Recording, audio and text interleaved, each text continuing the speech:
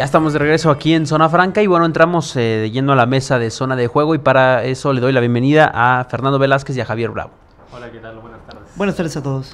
Bueno, pues vamos a hablar acerca del tema de los Esmeraldas de León, que bueno, pues este fin de semana eh, consiguieron un importante empate como visitante ante el conjunto de los Tigres de la Universidad Autónoma de Nuevo León.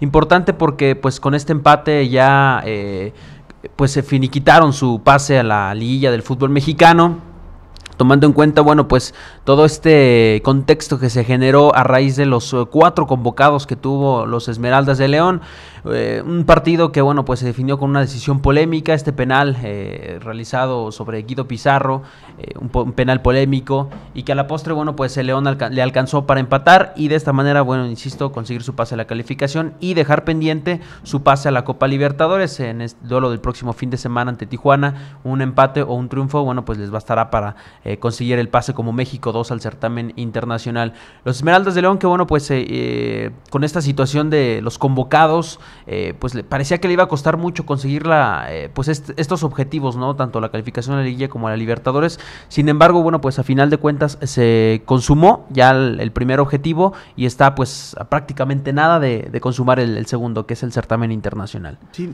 al final llevan la inercia, ¿no? De lo que han hecho durante el torneo eh, no me sorprende el empate. Al final, eh, León no se ha mostrado, es una parte eh, en riesgo y que se va a grabar con las eventuales convocatorias. No son una máquina de hacer goles fuera de, del, del No Camp. Les ha costado mucho trabajo. Y las derrotas finalmente que han tenido de manera estrepitosa han sido fuera. Y esta se antojaba un, partido mucho más adverso. Sin embargo, me parece que, que, León fue fiel a un estilo. yo creo que eso tampoco es de sorprender. Eh, así juega finalmente Gustavo Matosas, echado para adelante, atacando, generaron, tuvieron varias oportunidades que, se fueron, que vamos, eh, impresionantes porque eran jugadas de mucho peligro. Por ahí hubo dos postes, me parece. Eh, hubo dos postes, exactamente. Y bueno, la cuestión del, arbitraje, ¿no? Que fue muy señalado, ¿no? El arbitraje. Pero bueno, digo, creo que el partido en términos generales a mí no me sorprendió mucho porque, digo, creo que demuestra finalmente la, el, estado actual de las cosas en el fútbol mexicano. Un mal arbitraje, un León que no puede anotar, que vamos, le cuesta mucho trabajo, finalmente se lleva un empate. Un Tigres que este, también eh, devela muchas eh, cualidades en su, en su esquema, pero también muchas eh, deficiencias. deficiencias. Y creo que también se notaron.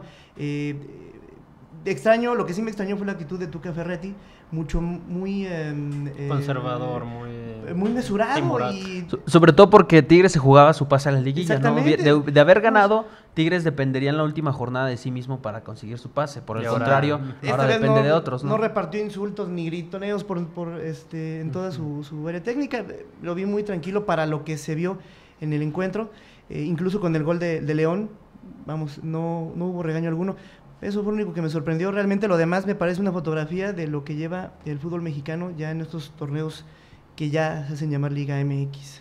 El tema del arbitraje lo mencionas, en esta ocasión sí incide de manera directa en el marcador, ¿no? Estamos hablando de un penal polémico, si quieres, pero entonces que se, misma, eh, que se hubiera medido con la misma vara. Por ahí hubo un, empujón sobre Boselli, que no se marcó. Entonces se vio un arbitraje hasta cierto punto localista, pero es algo que León va a tener que enfrentar, o que todos los equipos enfrentan a diario, y más en la liguilla, ¿no? Cuando la localía vale un poco más hay que resaltar esta cuestión de los de las posibles convocatorias, de las convocatorias eventuales que se vendrán. Eh, porque en el caso, algo preocupante que yo veo en lo personal es Mauro Boselli que no encuentra o no, no logra ser ese Mauro Boselli que, que inició, o sea, con la, con la pólvora encendida. Ahora se ha visto un poco, pues, una labor más, eh, más eh, como eh, sucia, no sucia, eh, un poco pues, pues reteniendo el balón, más de sacrificio y las pocas oportunidades que tiene pues no logra definirlas. Es algo que le va a costar mucho a León y sobre todo también eh, este generar las oportunidades de gol. Pero fíjate que, perdón este, que interrumpa, pero yo creo que Boselli, la situación de Boselli creo que todavía es salvable. La cuestión de Matías Britos. Matías Britos, exactamente. Matías Britos, yo creo que en ningún, en ningún partido como este se desvaneció tanto en el campo de juego. Y ninguno se ha mimetizado tanto como en este. Eh, y creo que eso ya prende los focos rojos. Ya una vez que Burbano dijo que ya se iba, pues yo creo que Britos también se va. ¿eh? Pues sí, son diferentes circunstancias en lo individual. Boselli, que sí bien se le ha, digamos, se le ha mojado un poco la pólvora en los últimos partidos. Britos, pues prácticamente la tiene empapada, ¿no? Porque únicamente tiene un gol en todo el torneo. Eh, ha costado mucho a Matías Britos que bueno, pues en el discurso Gustavo Matosas eh, señala que pues eh, Matías Britos es un jugador de entrega, de, de, garra, de sacrificio, salta. pero que bueno, pues a final de cuentas un delantero, pues digamos que pues es por obviedad, ¿no? Que tiene que tener estas cualidades, ¿no? Entregarse en el terreno de juego, partírsela y que a final de cuentas, bueno, pues su labor pues es anotar goles y Matías Britos no lo está haciendo hasta el, hasta el momento.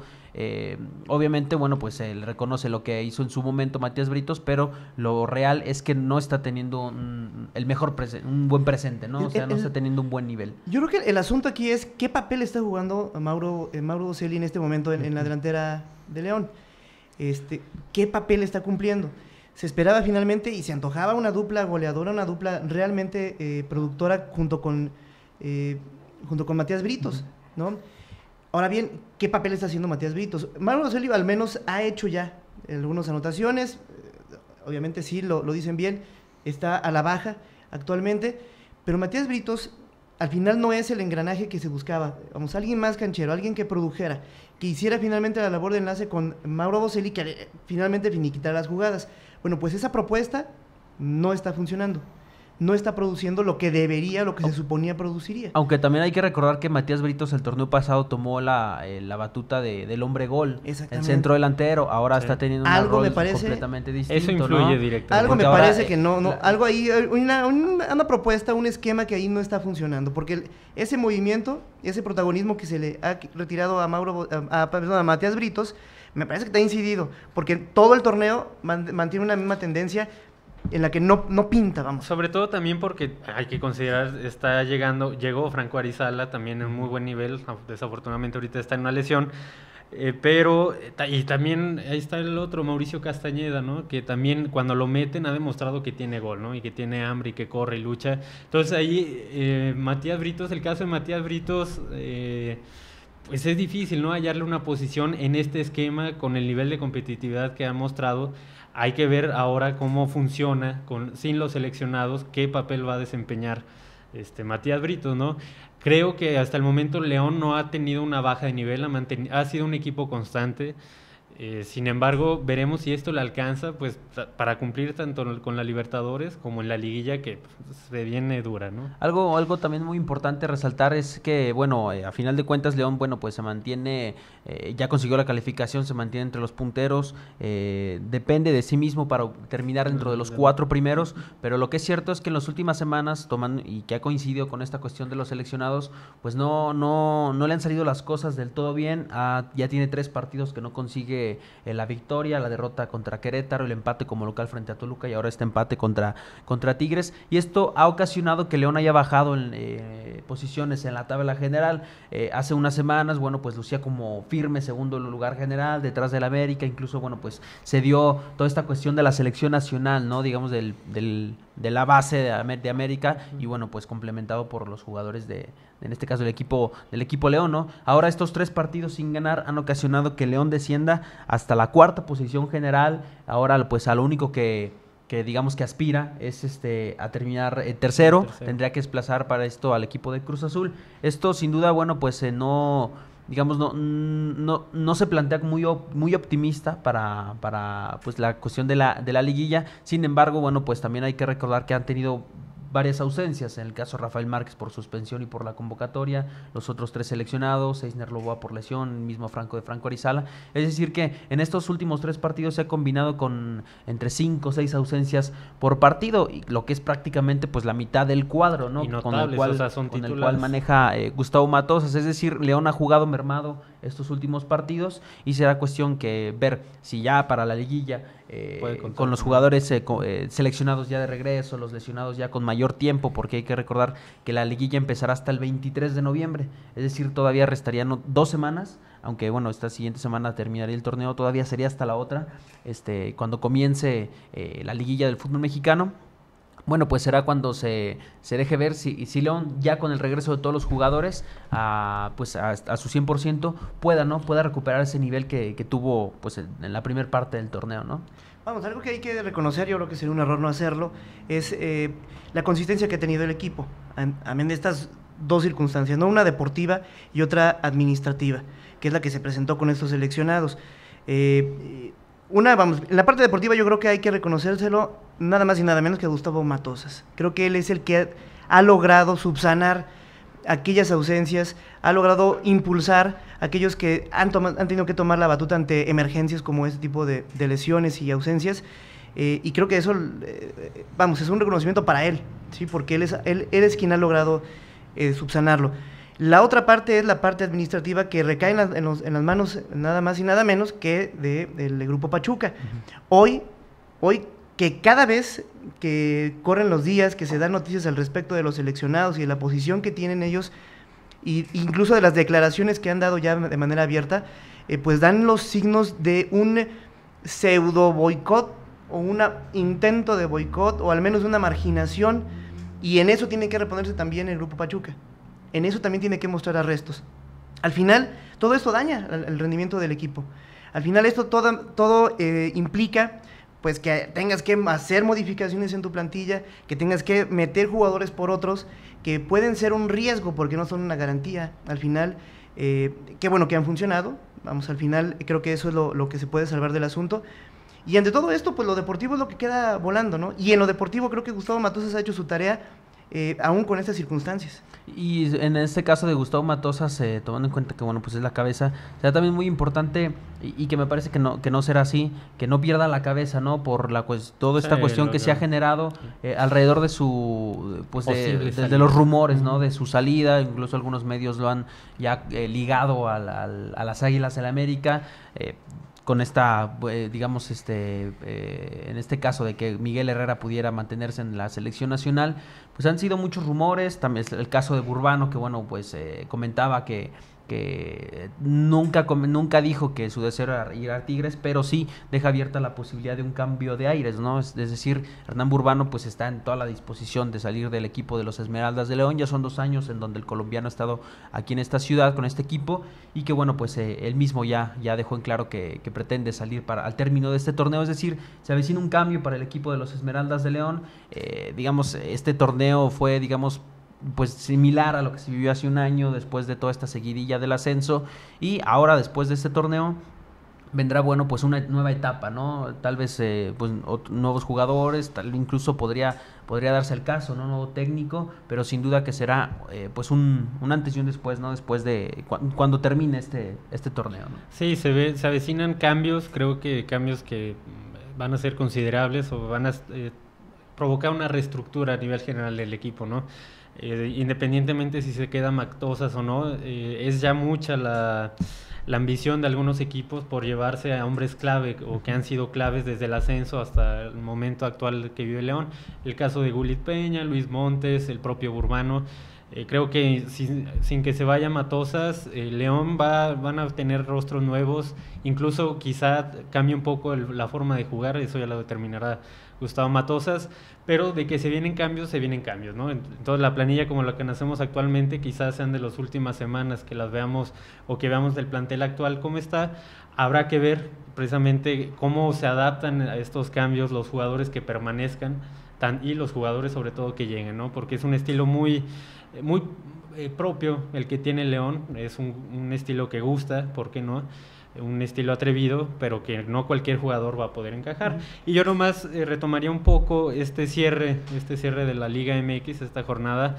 Eh, creo que León lo más que puede aspirar es a mantenerse en el cuarto lugar, tomando en cuenta que el Cruz Azul visita al Pumas, un Pumas que, bueno, eh, ya demostró perdiendo contra el Chivas que no tiene nada. Entonces, en un cuarto lugar que les va a permitir tener el primer partido de regreso, pero bueno, ya veremos cómo le va a León y sobre todo cómo supera este tema de las ausencias. Así es. Y ese cuarto lugar que también le daría el boleto a la Copa Libertadores, ¿no? Como México 2. Fíjense que yo creo que este, precisamente los cambios que vienen aquí, creo que es la siguiente, la segunda prueba de fuego, la gran prueba que va a tener el Grupo Pachuca. Ahí es donde vamos, debe mostrar la fortaleza.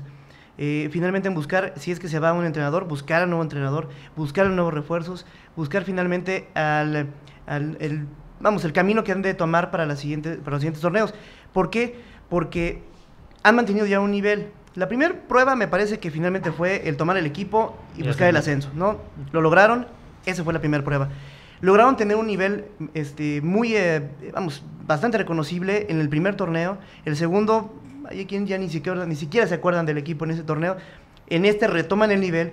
A lo que voy es, una vez el ascenso, creo que ya se, ya se tiene un estándar, vamos o menos, el nivel de juego que tiene León. Está embalado, ¿no? Entonces, la prueba de fuego para Pachuca es mantenerlo, aún con estos cambios de, de, técnico, de jugadores, de lo que sea. E incluso, y pese a los trompicones que le puedan colocar los grupos de poder dentro de la Federación Mexicana de Fútbol. Eso es, yo creo que eh, esta serie de circunstancias ponen a prueba una, organización que ha mostrado solidez, que ha mostrado eficiencia en el fútbol mexicano, pero que en esta plaza particularmente tiene condiciones muy especiales hoy en día.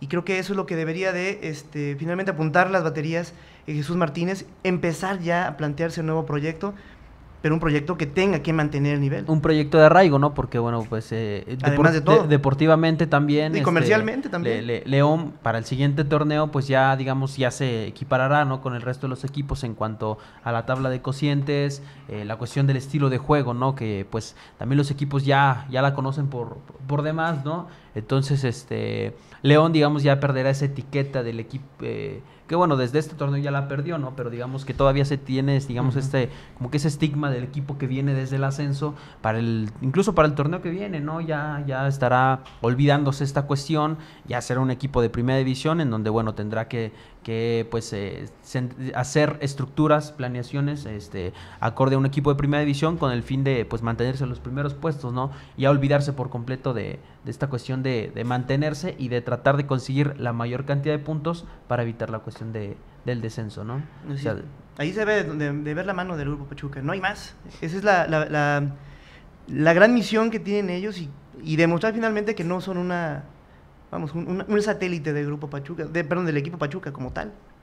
Bueno, pues ahí está la cuestión del León y pues eh, antes de despedirnos mañana, ¿cómo, ¿cómo creen que le vaya la selección contra Argentina? Es un duro rival el equipo de, de, Sudamérica, sin embargo, bueno, pues México tiene los arrestos suficientes como para... Ya lo demostrado con Brasil creo que pues te da a pensar muchas cosas grandes, ¿no? se ha venido, es un equipo que ha venido de menos a más, desde la goleada con Nigeria 6-1 hasta derrotar a Brasil en la tanda de penales, unos penales que, bueno, ya tradicionalmente habían sido nefastos para el fútbol mexicano. Ahora se viene Argentina, creo que es un rival vencible y creo que la selección mexicana pasa a la final. Pues mire, la lógica diría que, tendrían que ganar, porque Brasil hizo, ha hecho, hizo mucho mejor torneo que Argentina en términos generales. Entonces la lógica diría que tendrían que ganar. Eh, a mí lo que me preocupa es, eh, en este momento, la situación anímica.